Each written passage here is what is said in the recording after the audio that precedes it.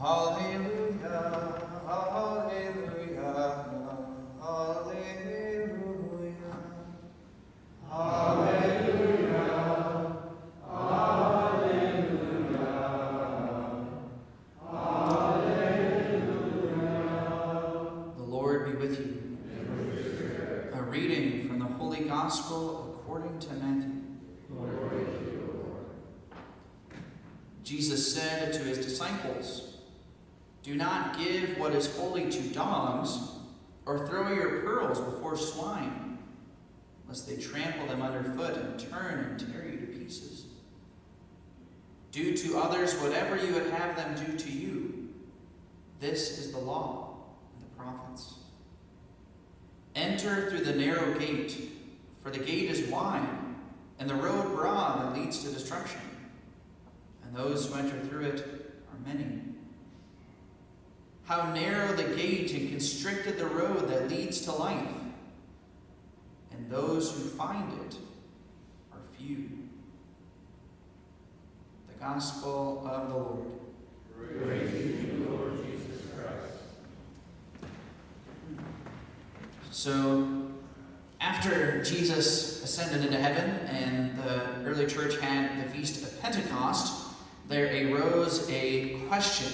And it is a question that has echoed down to the centuries and should be echoing in each of our lives right, every single day as well. And the question is what is the impact of the incarnation on the world? What is the impact of the incarnation on my life?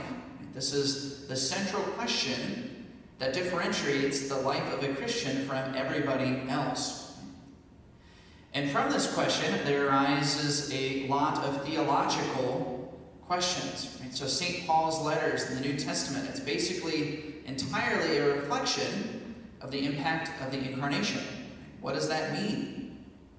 In the early church, we know from the first ecumenical council, there was a question okay, what does the incarnation mean about the Old Testament laws? Do we still need to be circumcised? This is one of the questions that arose. What is the impact of the incarnation? There was a heresy in the early church called Gnosticism. Gnosticism denied that Jesus was truly human. They said that he was merely God under the appearance of human form. Then there was the heresy of Arianism, from which we had the Council of Nicaea, from which we get the Nicene Creed. The Arian heresy said that Jesus was fully human, but he was not fully God.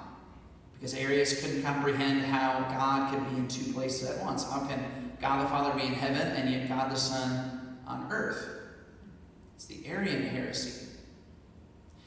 The next major heresy that arose in the church was the Nestorian heresy.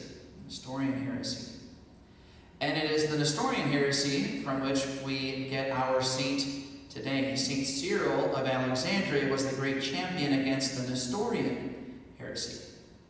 Nestorian heresy was in many ways a prefigurement of a dominant heresy we see today among Protestant Christians. Nestorius was a priest, and I believe he was a bishop as well.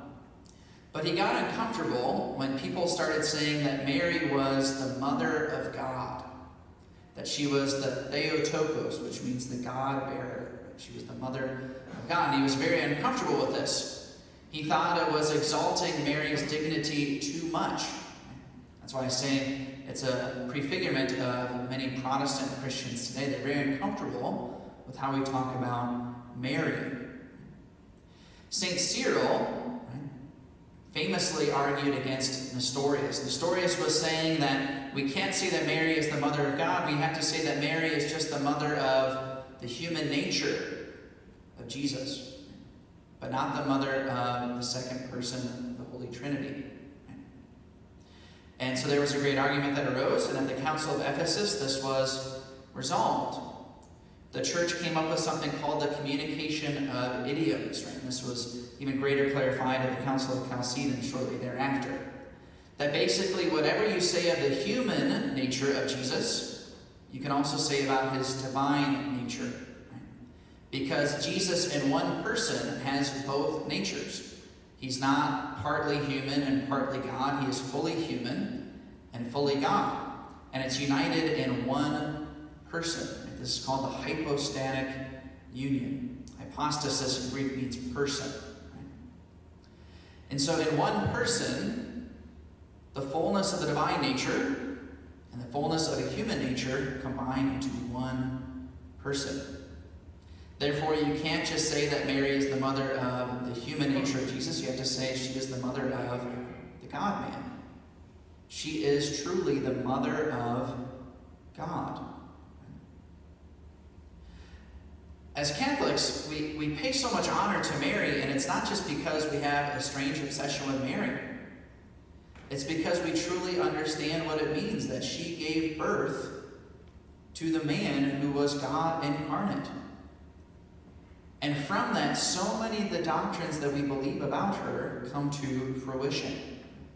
It's not us inventing things, it's us fully reflecting on her dignity as the mother of Jesus and therefore the mother of God.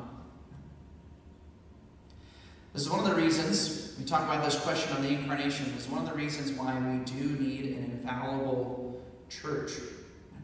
So many Christians think that if we could all just read the Bible, we could all agree on it. But even in the earliest days of the church, even the apostles themselves were divided about the question of circumcision. In the fourth century, the majority of the bishops were confused about whether or not Jesus was fully God or not. All throughout church history, there are debates and confusions that arise, and there is a need for an infallible authority to decide those disputes for us, that we can be sure that our doctrine is correct and we are truly united.